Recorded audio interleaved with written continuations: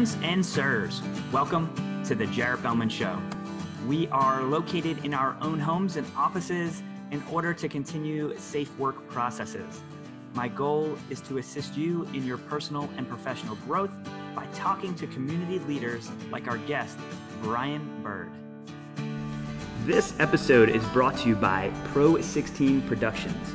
Pro 16 Productions combines experience, passion, and innovation to capture the essence of your projects. Bryan is a realtor with We Sell WNC team of Keller Williams Mountain Partners. Bryan has been a part of the Hendersonville community for close to a decade. He has two sons at the University of North Carolina, Charlotte, but most importantly, he has found a community that allows him to be as involved as he wants to be. Today, we are talking about Safe Hendo and Love Hendo, two initiatives that Bryan has embraced and supported both in his speech, his actions, and his wallet. Welcome to the show, B Squared. Thank you, Jared. Glad to be here. Appreciate the uh, gracious introduction. Oh, not a problem. Thank you for all that you do for our community. It, uh, I mean, we see your name everywhere, or you hope people see your name everywhere. But uh, you know, I just love that. Uh, like I said, you're not just speaking and um, and acting it, but you you've put some money into uh, the Safe Hendo and Love Hendo campaigns here. Well, you know, I've been I've been blessed over the last few months to be able to make a living, and a lot of our friends and neighbors, Jared, have been struggling uh, they've either not been able to do their job or do it on a limited basis. Uh, many folks are unemployed and unsure about the future of their business and how long they can hold on. And uh, the the efforts of all the folks involved in creating the Safe Hendo and Love Hendo formats, uh, the folks from the chamber, uh, their partners at uh, the Friends of Hendersonville, um, and the business owners like yourself, who have you know lent their time, their talents, um, and their energy to figuring out how can we help each other and how can we step up and uh, keep this community together. And uh, I've been very impressed with not just what they're doing, um, but how they do it. Um, and uh, it's just a, a, great opportunity to, uh, again, um, support uh, those folks who, who may not have, have had the couple of months that I've had in my business and keep this train running. Well, that's great, Bryan. We really appreciate it.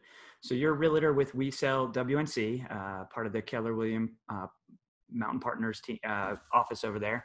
So uh, how's that going with everything uh, being quarantined? I know realtors have a lot of, uh, I don't want to say high, yeah, it's higher expectations because, you know, there's protections, which when we say protections, sometimes people get defensive, but these are protections to assist and help and keep people safe. So how's that going? Yeah. So, um, uh, you know, it, it's it's important to note that a part of our job is to take people into other people's homes, um, or to allow other people to come into our clients' homes. And so this is this is not only very personal, um, but it's it's very important uh, that we immediately put in safe uh, practices to protect all involved: uh, the seller, the buyer, the other agents, our teams, our family. Uh, and so immediately we focused on, you know, what could we do? Uh, there was so much in March and April about what we can't do individually and as businesses and even as realtors. And we focused on what can we do. And so uh, one of the first things we did was put together a safe showings uh, document. So one page document that we share with all of our clients, uh, regardless if they're buying or selling homes or land, so that they understand that uh, this is first and foremost uh, that uh, we want to help you, we want to educate you, we want to help you reach those real estate goals, but we have to do it as safely as we can with the best knowledge that we have. And so it's, it sets expectations. It helps uh, open up opportunities for safe showing practices virtual. Um, you know, it was always a best practice to have a video for a home, and now it's it's a way we do business you know um, it's not that we're not taking people into properties but the first thing we're doing is is sending them as much information so that they can uh, really uh, pay attention to what are they going actually physically going to see um, uh, for listings when we're helping someone sell a home and they're still occupying the home uh, we switched to virtual open houses um, and so that uh, there was an opportunity for potential buyers and real estate agents to be able to really understand a property before they took that trip uh, to step inside of it. Um, and so just, you know, we, we hear the word pivot a lot and, and that's just what we focused on is what can we do safely um, and what can we be smart about and proactive uh, about helping um, make, make real estate move forward. Um, you know, when, when this came, you know, people's leases were ending or their homes had to be sold or their jobs were changing and that didn't change. And, and so, you know, housing is, is, is pretty important. And, uh, and so we've just been blessed uh, with the opportunity to help a lot of people during this uh, during this different time.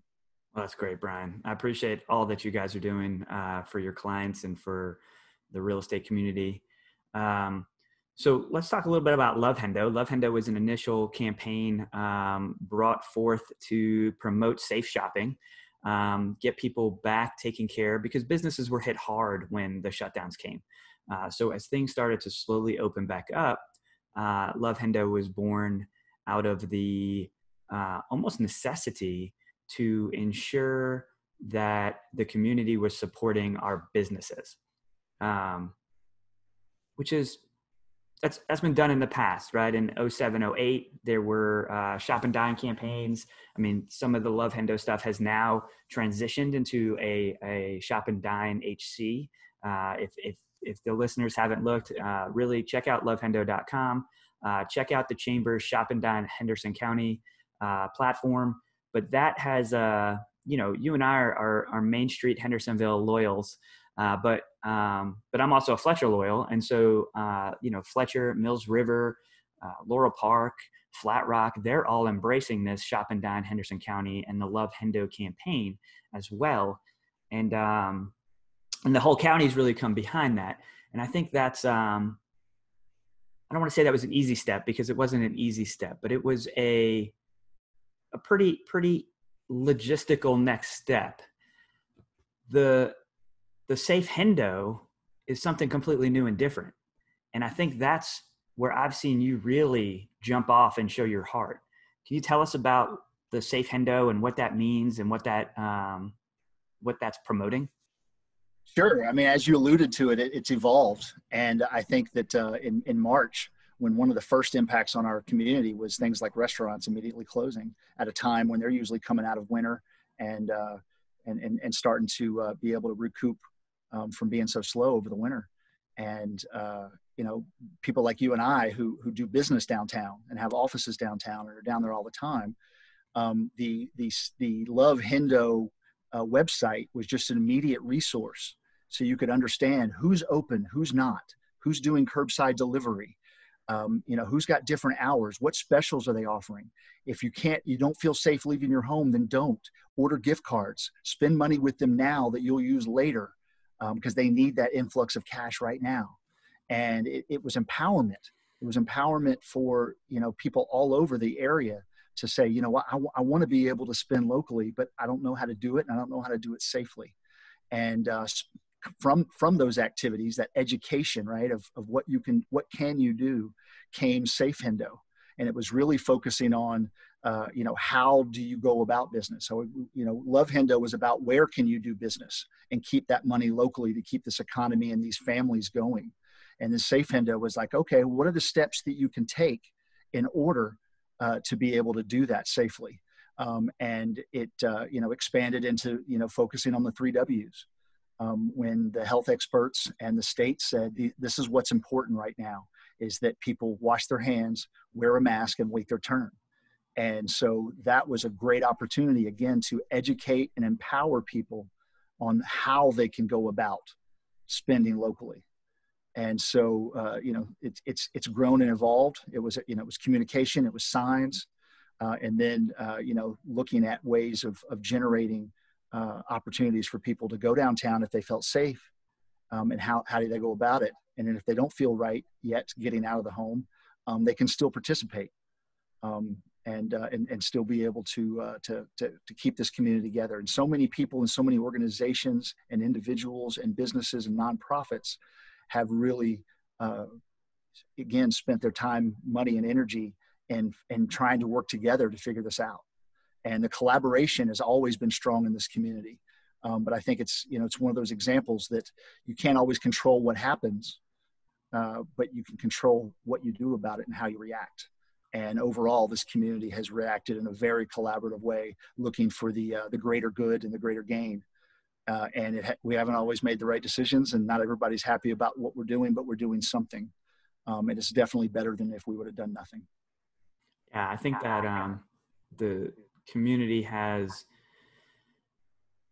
I mean, even in our initial reaction to the lovehendo.com, I mean, that was just, that was more proactive than reactionary. I mean, it was just smart a smart move that may not have been perfect in its first iteration but has grown into something bigger. And i think you're exactly right that that collaboration and that looking to be one community instead of a bunch of individual businesses or individual consumers that uh, we can put together a plan that like you said not everybody is going to 100% agree with it but as leaders in this community we're going to say this is right now what we think is best and we're willing to reevaluate and we're really willing to relook at things.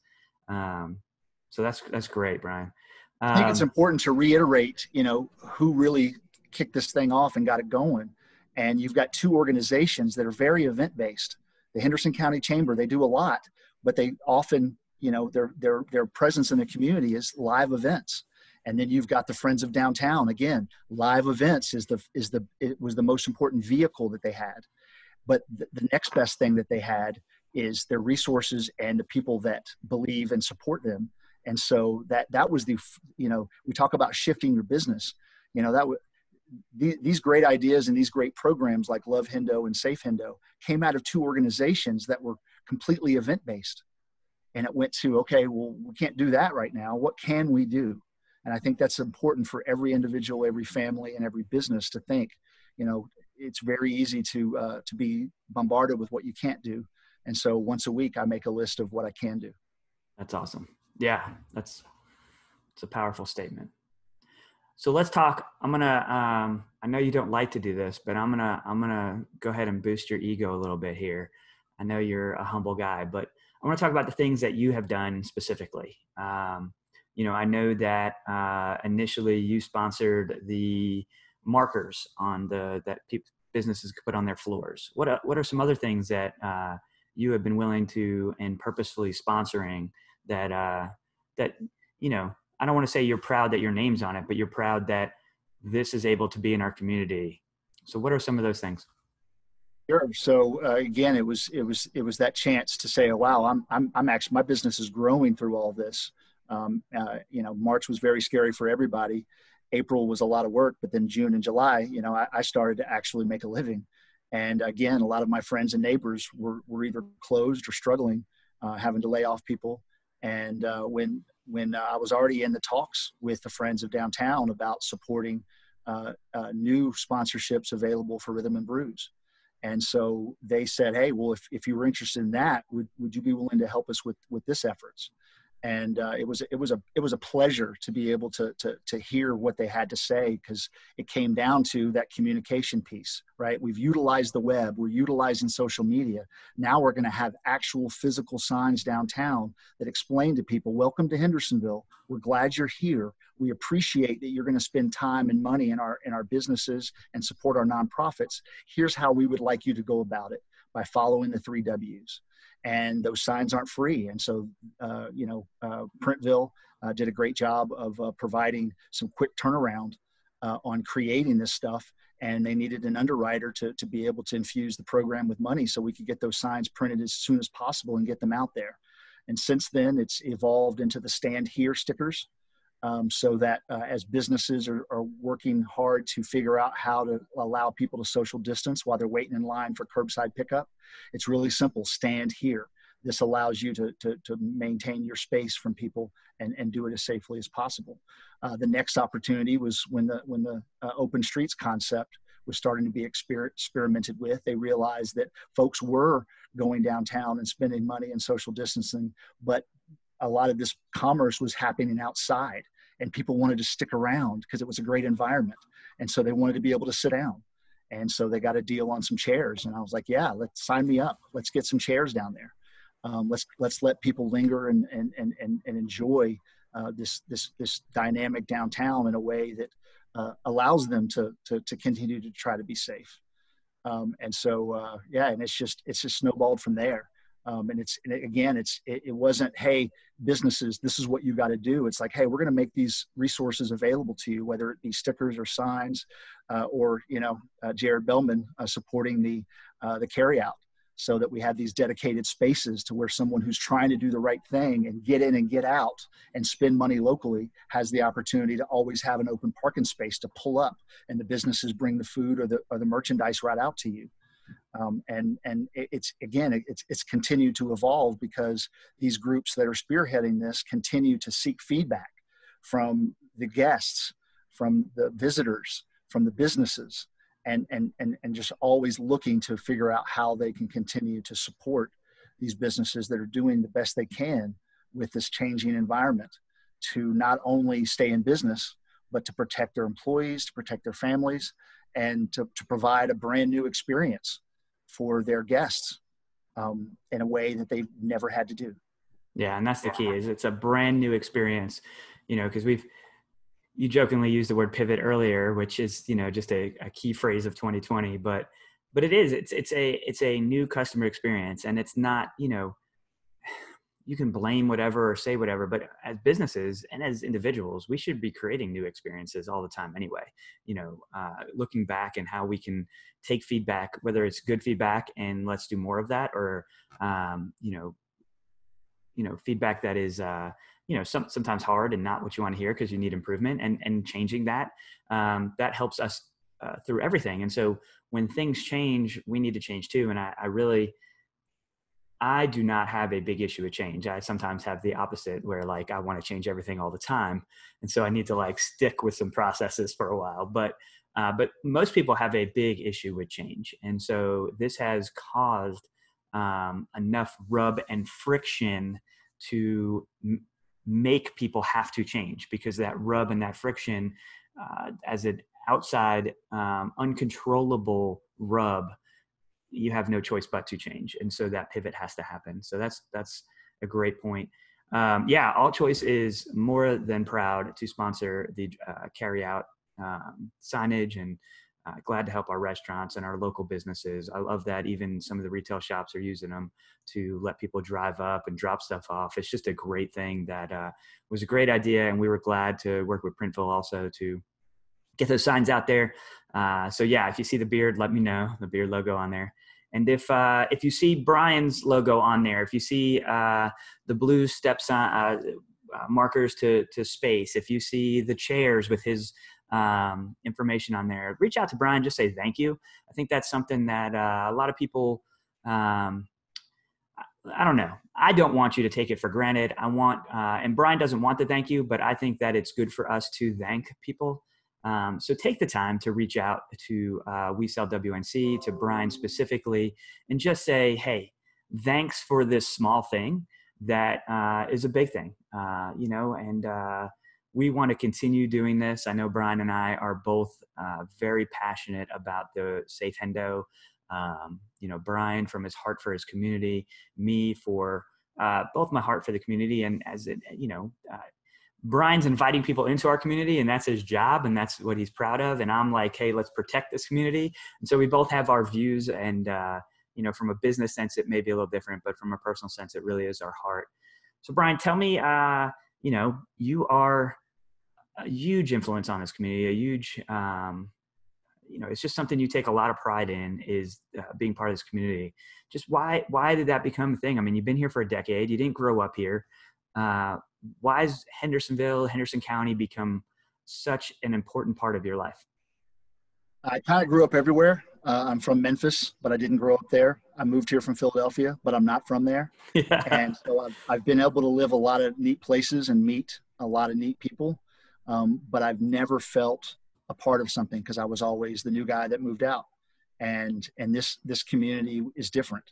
Um, I specifically came here because I grew up, no matter where I lived, I always went to the Smoky Mountains for, for vacation. So for me, it was just about the, the environment that we're in. Um, and uh, I didn't see Hendersonville coming. I didn't know it existed. And I had done three years of research uh, figuring out where I could live at the time with an airport close to the Smoky Mountains.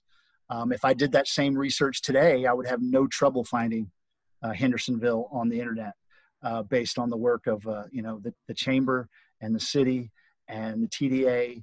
Um, you know, we're on the map now, but back then, you know, I, I really didn't know it existed, and I think it, it, I think it found me, and it's always neat to hear people's Hendersonville stories. Um, and so uh, th- this is a place where you know, again, you can get as involved as you want to be. And uh, if, if there's, there's, there's civic organizations, there's uh, business organizations, there's, there's ways for you to learn what's going on, learn who's doing it, and then find your way and your place on how you can uh, make a difference. And uh, again, I, I love collaboration. I love learning from people. And so this is, this is a great place to do that. Uh, I think it's important to note that, you know, I'd, I'd alluded to the fact that the last few months have been uh, very blessed for for me and my team uh, in, the, in, the, amount of business that we've done. Um, I've had a, I've had I've had the opportunity to help a lot of people buy and sell real estate over the last three months through all of this. Uh, so far, uh, it's it's all been people here. So yeah, there's a lot of people that want to that want to visit, and we do have a lot of out of town clients that we still stay in touch with through Zoom and through phone and through email and by sending them videos. Uh, if there's not a video listed with a home, we'll go out and take one for them and put boots on the ground and tell them about the house. Um, but at this point, um, all this all this uh, uh, blessing that I felt um, has been from people right here. Um, so it's not just folks moving in from out of town; it's people here that are, you know, tired of renting or they have a house that's too small or too big, and you know, being able to help them right here um, is, has been a joy. That's awesome. Well, thank you. We're, we as a community are grateful for your influence in here. So, on the Jared Bellmund Show, I ask every guest the same three questions. So, we're going to dig into that a little bit. I love to hear uh, these responses. This wasn't in the prep. This, yeah, we don't we don't send this ahead of time. So, the first question is, what is a book that you have read in the last six months that has been uh, the most influential to you?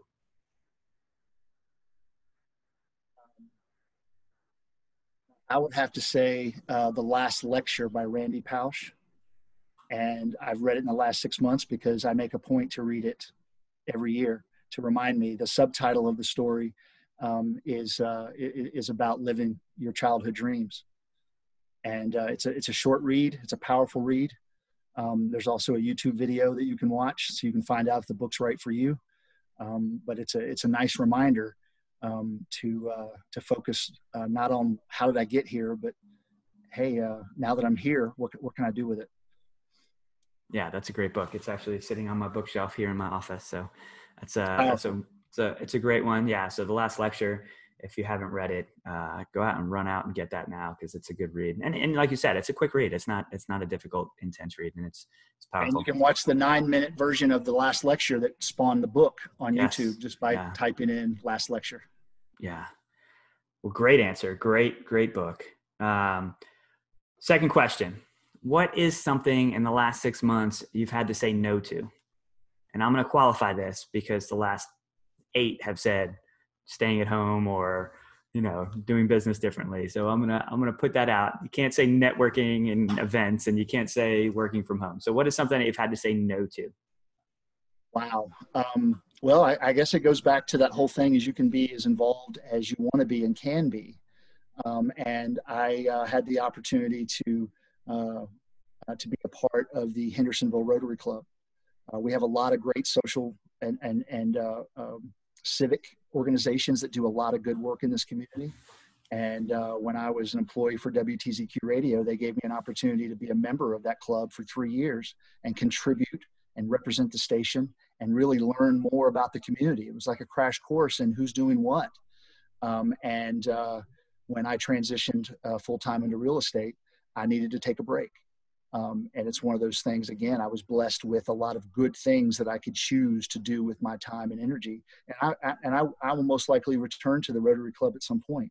But I had to say, you know what? Um, you guys keep doing the good work and I'll stay in touch and I'll follow what you're doing. Um, but I need to focus right now on, uh, on, on being able to be, uh, to make the most of this opportunity I have uh, to be directly connected with folks like the city and the chamber and, be able to work with them on things that are, are very present. Not that what the Rotary Club is not important. Uh, they do wonders for education and clean water in our community. But I had to say, you know what, not now.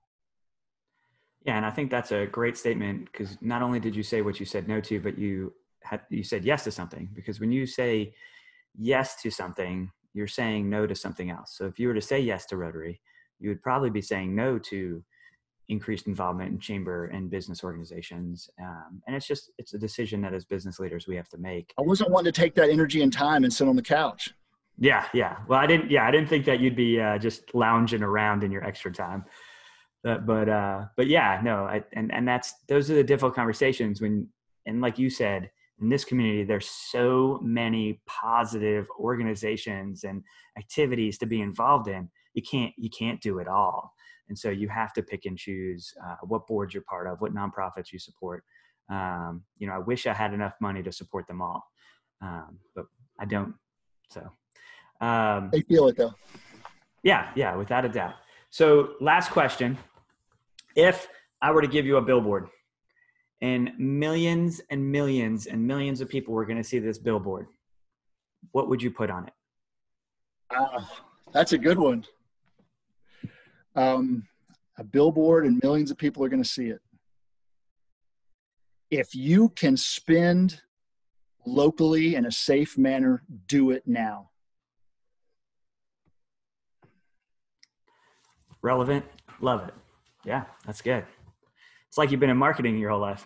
and, and, it doesn't matter where that is. Yeah. You know, I'm not just saying spend all your money in Hendo. Where, wherever your community is, they need you. They need your attention. And if you can just try to spend one dollar more tomorrow that you were already going to spend, but spend it with a local business, it makes a difference. That's awesome. Well, B squared, I am so grateful that you were able to spend some time with us on the Jared Bellmund Show. Thank you for joining us today. Truly my pleasure, sir. Thank you very much for all that you do in our community and appreciate the opportunity to be able to talk about this cool stuff in our community on your show. Thank you for watching the Jared Bellmund Show. Be sure to hit subscribe, ring the bell for future notifications, and check out the description for more information.